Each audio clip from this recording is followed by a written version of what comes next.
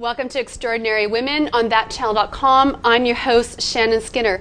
Well, I have a great show lined up for you today. In the first half hour, you're going to meet Anne Day, who is the founder of Company of Women.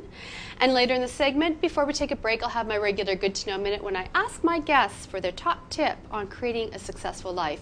You'll hear Anne's. And uh, I have an event that I would like to tell you about um, that you need to know about. It's called Amazing Women's Day, which is happening in Toronto on April 16th at the Ritz Carlton Hotel.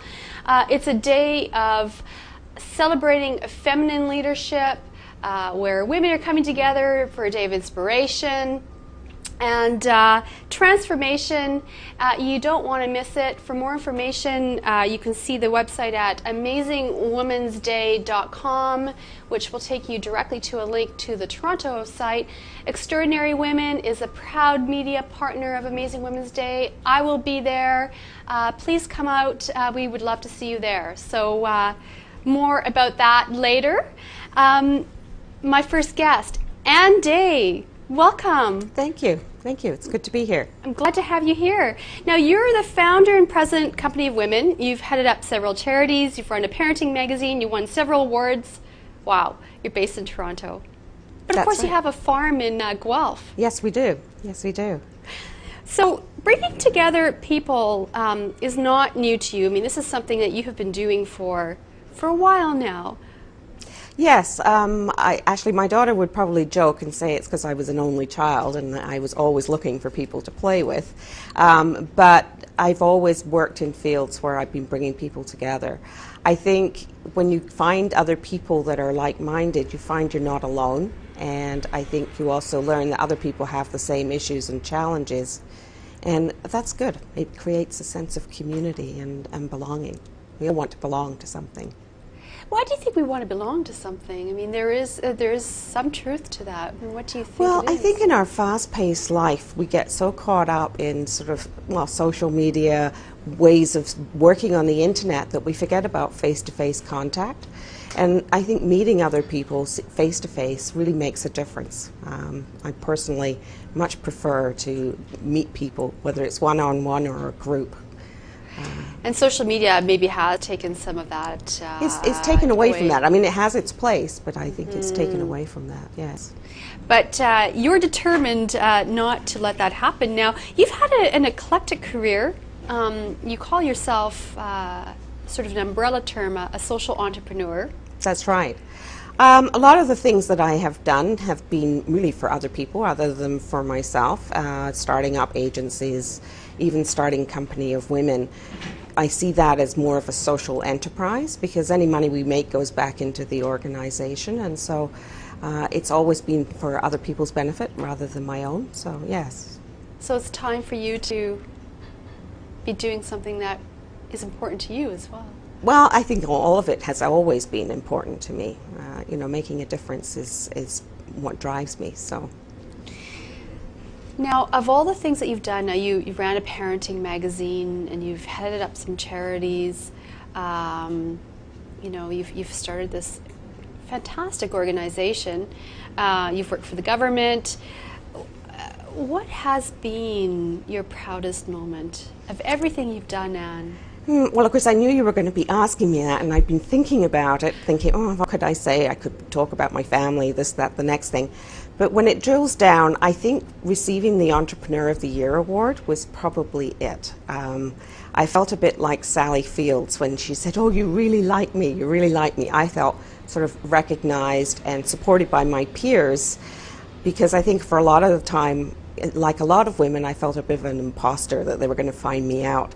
So to, to win that award was really important to me. So I think that would probably be my proudest moment. Now, you live uh, on a farm um, Yes.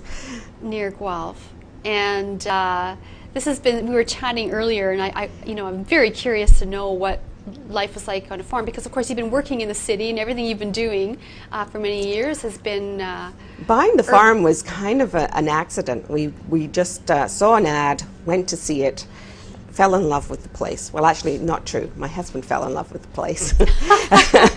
and you didn't? And I came along. No, I wouldn't say I didn't, but I, you know, I'm certainly not a country gal.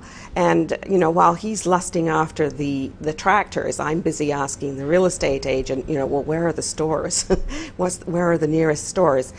But over the years, I've really come to love the place. We've created a real oasis for ourselves, and, and the people are amazing uh, locally. And uh, last year we got cows, and that was a whole other experience. So you learn a lot. You learn a lot, and it's a different pace, which is good.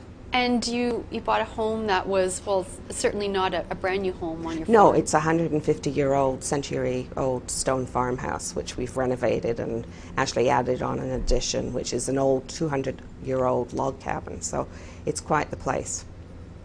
Now you spent a lot of time renovating, as you said, and uh, you have some had some visitors there that haven't really been welcomed. Welcomed? No, no. I think probably our favorite story is the one of um, I was in in the John, and I looked down, and there was this massive milk snake crawling towards me, and I can tell you, I've never moved so quickly. And I went rushing outside to tell my husband, and uh, he wanted the camera he wanted a photo, and I'm thinking, this isn't a Kodak moment. This is sort of get it out of the house. So uh, anyway, I'm actually I'm really good now with snakes. Amazingly enough, you get used to all these things. Do you find it peaceful? It's very peaceful. Mm. It's very hmm. peaceful. We have 85 acres, so I mean, it's there's not really anybody around us, and it's it's lovely. And do you have to then drive in? Yeah, um, that's the negative. Yeah. all the commuting.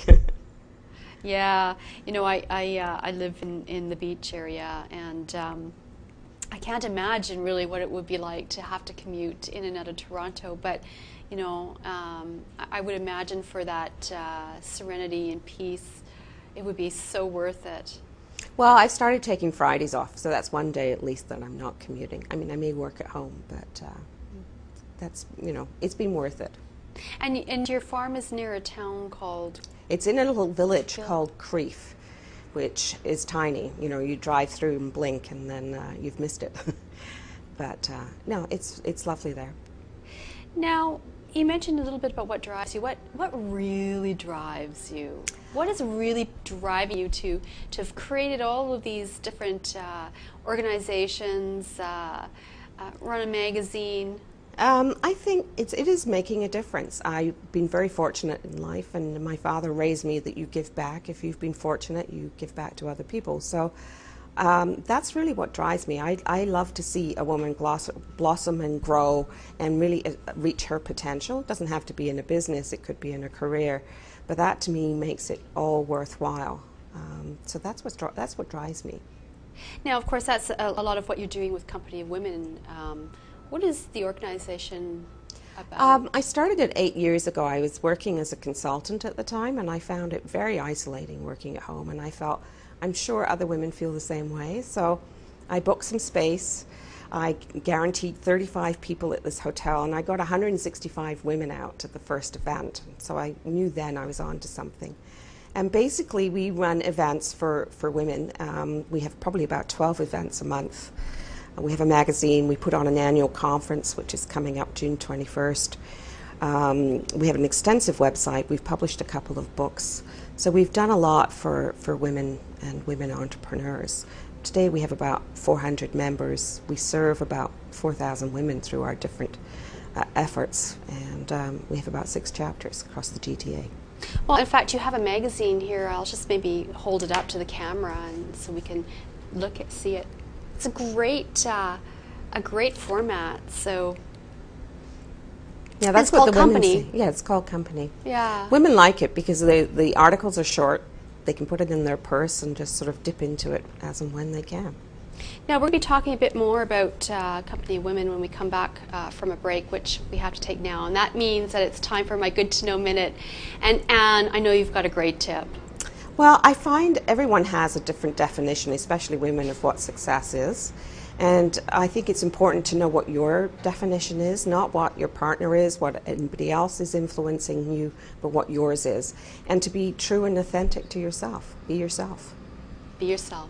Thank you so much, Anne. You're welcome. Well, we're going to take a break, and uh, when we come back, more with Anne Day, founder of Company of Women. But during this break, you're going to see a video about Amazing Women's Day, so uh, stay tuned. Mary Women. I'm Shannon Skinner, and I'm here speaking with Anne Day, founder of Company of Women. Um, and so we've been talking a little bit about the organization before we went to break. Um, and why is it really important for women to have organizations like Company of Women? I think women network differently to men. I think we're very much more into building relationships and not doing what I call the business card shuffle, where it's it's kind of shallow and insincere. We want to get to know each other because women will refer. Women will do business with women that they know and trust, and so you have to build a relationship to do that. I also find that the women, um, we treat the women, we're interested in them as women, not just as the, because they have a business. And so um, it, it's the whole woman rather than just, just the business. Now, you have a new book coming out. Yes. What's your book about? Well, I, when I started, it's called Day by Day, and when I started it, um, it was really going to be a business book because there's not much out there for women that really tells them what it's really like. Um, and but then what happened was, I, some people were starting to read it, and were saying, you know, Anne, you've got a really interesting story. You should start putting some of your personal stories in. So I did. I mean, there's some really funny ones, like the one about the snake, about the farm, and there's some other stories. So it's it's about business, but it's also about life. And when I first started, I had the business section, then I had the life section, and then I thought, you know what? Our lives as women are, is not like that. So I've mixed them all up, and it also keeps people, uh, you know, we all want to know what's happening in somebody else's life, so it keeps their attention. It's very short stories, um, easy to read, easy to dip into. Can you give me an example of a story that's in there? I mean, we've talked a little bit about the snake, but I didn't know that part was in the book. Yeah, it is in the book. I can't wait to read the book, actually. Um, but uh, well, you know, I've talked about some of the women we've helped, um, like uh, Marissa McTasney, who's with Moxie Trades. I have talked about some of the lessons that we've learned in running Company of Women, and we've made our share of mistakes, as like anybody else. I've talked about the fact that I've had cancer and, and what I learned from that, and that really does motivate me in terms of, of helping other women. And a bit about sort of growing up in England and, and so forth. Now, you know, cancer, you've, um, this is something that you've gone through a few times. Yes, yes. Yeah, I didn't learn the first time. so I've been through it twice. Um, now, ha- how has that impacted your life? I think it really just makes you focus on what's important. I mean, it hasn't, it's shaped my life, but it isn't my life. I mean, I certainly wouldn't be someone who's gone off and had a pity party, but I think it does make you realize you've got one life to live and you have to make the most of it and make a difference um, and, and be around the people you want to be around. So, Anne, where can people buy your book? I know it's not quite out. No, it's it's yet, at the publishers right now. It will be out at the end of April. Uh, people can order it online from our website, which is companyofwomen.ca. And um, after May 1st, it'll be available at Chapters and Amazon online too. Okay, great. Well, that's great. Are you going to have launch? Yes, we are. Big party. I'm into parties. now, you've um, you're also you're involved with the National Task Force. Um, that is something that's really important to you. Um, maybe you can talk a little bit about what you're hoping to achieve. Well, um, the task force is made up of women entrepreneurs, academics, uh, women in government who are concerned about the fact that women don't grow their businesses at the same rate as men. And there, there are several reasons. Some of it's risk adverse access to services. For myself personally, I got involved because it, in each province across the country there is a women's enterprise centre where they can access training and they can access funds. We do not have one in Ontario, which seems incredible to me when we're one of the larger provinces and there's a million women entrepreneurs across Canada, and Ontario doesn't have a women's enterprise centre. So that's what drives me. Um, we're having roundtables. We've produced a, a blueprint. Uh, we're asking government to start uh, supporting women through special funds, access to services, uh, and so forth. And so the, the tr- round, we're having a roundtable in Toronto at the beginning of May, and I'm chairing that committee to pull that together. A million women entrepreneurs Yeah. across Canada.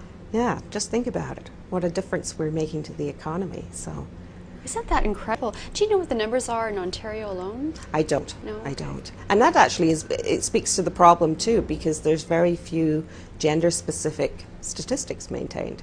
So So, how is it that men and women view success differently? Differently. Yeah. Well, I think women get into businesses for different reasons. I mean, for men, it's usually very much to, to make money, to provide for their families, whereas for women, I think it's much more to gain control over their lives because often they're juggling family and work and everything else. So that means it's, their goals are a bit different, so their ideas of success are different.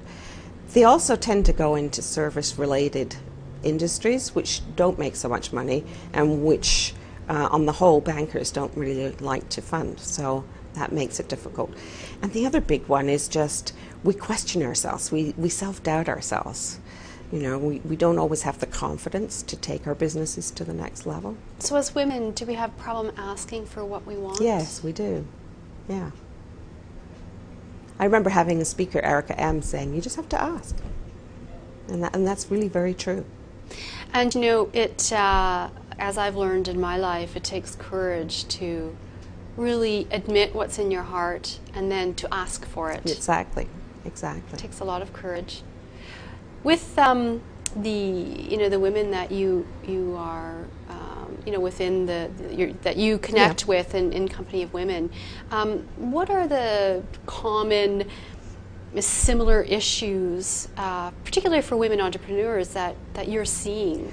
I call it the three C's, you know, cash, confidence, and customers. Finding customers in the first place, and even finding the ideal customer, because you can find customers, but if they give you the runaround all the time, then they're not necessarily the ones you want to keep. Cash, just because it's very hard to get get finances when you're starting up, and um, and women aren't as good at at um, looking at the financial statements, and that there's a, a gap in financial literacy to a certain extent. And the confidence is just what I was talking about in terms of, you know, self doubt, second guessing ourselves. So why? I mean, why is it that we're not good at financial statements? I mean, why is it that we're not good, as good at asking? Why is it that we doubt maybe in business ourselves more than men? I'd like to probe it just a little bit more. Well, I think we're really good at relationships, and I mean that's where we really succeed. And I think a lot depends on who you have, who you surround yourself with. And so, if you're surrounding yourself with people that sort of saying, "Well, yeah, that's never going to work," you know, it, it, we can get suckered in by that. That's why when I was giving my one piece of advice was, you know, be true to yourself and, and be authentic. Um, I don't know. I mean, I never liked math at school, so I'm just as guilty as the next person. So it wasn't a personal interest for you? Yeah, no, it wasn't.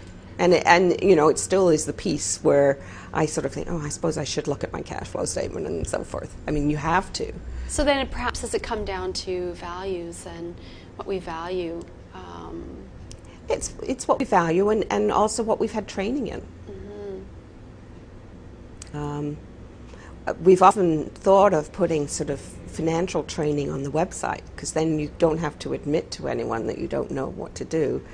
But you've got it up on the website, and at your, the comfort of your own home, you can download how to read a financial statement and so forth. But yeah, you know, it's not my very favorite thing no, to do. No, that's what I mean. So. yeah, no, I'm, I'm much more inclined to want to write and uh, and create and, and think and plan. I enjoy strategic planning, but certainly the financial uh, statements are usually something that you know, you know, April when April tax time comes around, you sort of dread it. You think, oh my God, I don't want to crunch any more numbers.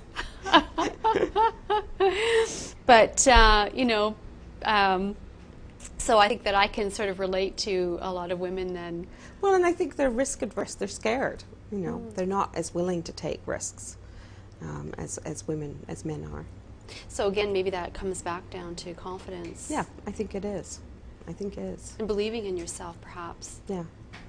I mean, we were talking before about, I interviewed Pamela Wallin and, and I asked her how she got from, you know, the farm girl in Saskatchewan to being in the Senate. And she said her rule was she always said yes to anything that took her out of her comfort zone. And uh, yeah, good for her. I, I really think we do have to stretch ourselves.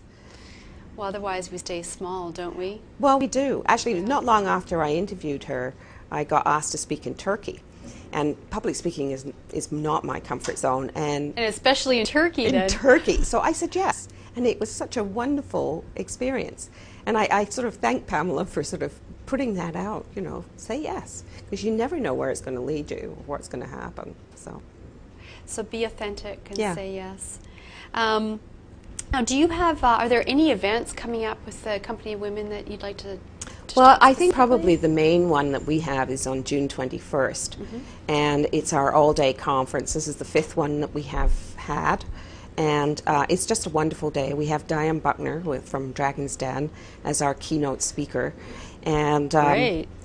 we usually have about 200 women there, and it's just a very inspiring, motivating day. You sort of learn some skills, but you also get motivated that yes, you can do this, and so forth. So, and then how can people find out more information about uh, about Company of Women at uh, companyofwomen.ca? That's, that's the website. The website. And again, for your book, that's where they can find. That's where book. they can find that, and there's a link on the website. We actually have a separate website for the uh, conference, which is Journey to Number Two Success. Okay. But they can link from the main website to that. So. Um, and and of course, you're on Facebook. Your Company of Women on uh, Facebook. We're on Facebook. We're on LinkedIn. And, and you're on Twitter, Twitter, Company of Women yep. tw- at Company of Women yep. on Twitter. That's great. Um, now, what's next for you? I think the book is probably the next project, really, because I mean right. it's just being published, so I'm going to be out and about talking and hopefully selling lots of books and getting the message out to women that they can do it. Um, but I've already got ideas for a second book, so that's one of the things at the farm. It's really in, it really encourages you to write. It's very peaceful, so lots of time for writing. Maybe I should buy a farm. Give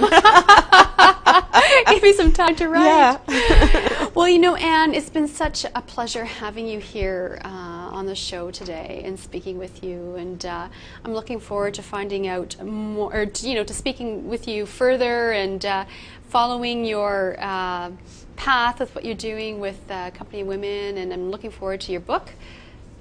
Well, thank you. Thank you for having me this morning. Yeah, thank you.